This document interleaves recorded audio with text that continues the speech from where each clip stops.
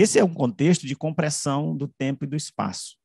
O Bauman diz que nós vivemos num momento, é, modernamente, é, de compressão do tempo e do espaço, onde o perto e o longe eles se eles têm uma, uma hoje uma até uma há uma confusão no entendimento de próximo e distante, porque o próximo nem sempre é aquilo que está próximo fisicamente, mas aquilo que eu, é, aquele lugar dentro dessa blogosfera onde eu me sinto bem. Então, eu, alguém pode estar na China e eu aqui me senti muito bem conversando com essa pessoa, eu estou perto dessa pessoa.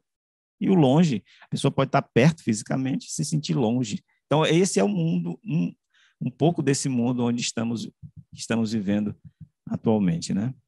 É, o cyber, é, nós estamos vivendo nesse, nesse espaço, lembrando que as emissoras de TV ela tem uma grande responsabilidade porque elas passaram a ser o espaço é, ela, a, a, elas acabaram, inclusive a pandemia acabou impulsionando ainda mais isso, se transformando, embora esse trabalho seja, tenha sido produzido antes da pandemia, é, ele, é, a TV, ela acabou é, sendo um lugar de reverberação das demandas da sociedade. Então, ela, digamos que sequestrou o espaço público das pessoas que antes discutiam muito em praças, em lugares, e essas discussões agora parece que.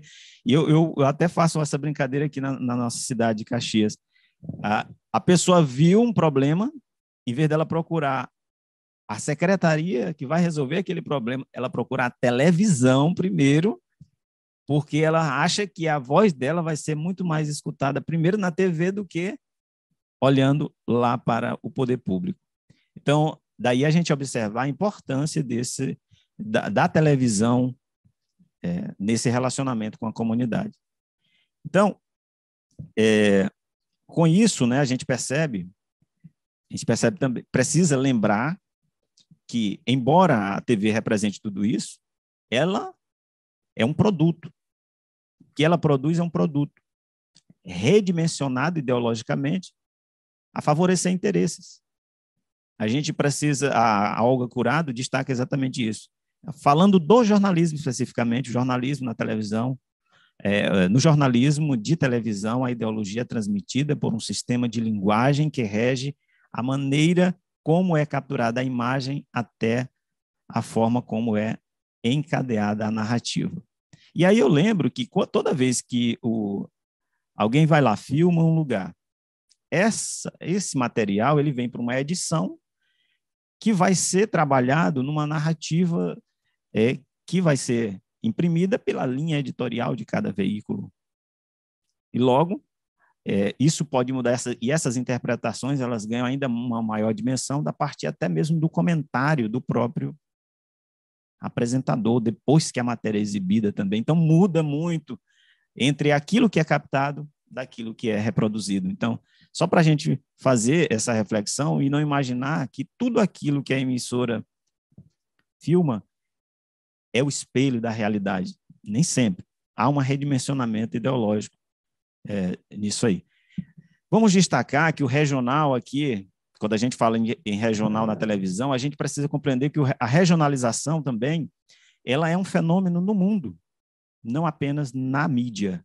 Ela está presente nos acordos econômicos que cada país faz. Agora mesmo estamos, estamos vendo, o Mercosul voltou à tona, é, ou seja, estão querendo fazer aproximações até com uma moeda própria, enfim. É, mas a gente observa por esses acordos comerciais como a regionalização ela está se fazendo no mundo, né, conforme os interesses de cada país. Temos também esses organismos internacionais, como o Fundo Monetário Internacional, o BIRD, a OMC, que, infelizmente, eu posso dizer assim, induz cenários. Muitos países que são endividados, por exemplo, muitas vezes tem que se submeter a, a políticas econômicas que não são do interesse da população, mas precisa, eles precisam atender a esses que são financiadores é, de cenários, né? Daí a gente precisa também se atentar para isso. É, só para não me demorar muito nessa parte de globalização, vou passar logo para a regionalização.